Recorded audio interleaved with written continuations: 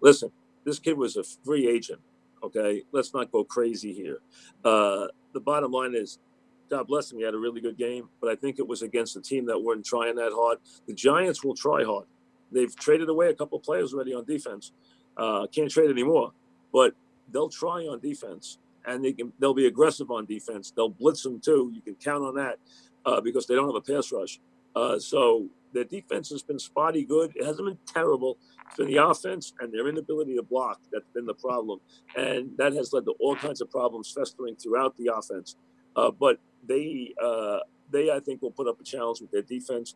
I think the Giants will win that game. Uh, if the Giants don't win that game, you know what? They should back up everybody. That should be the end of it.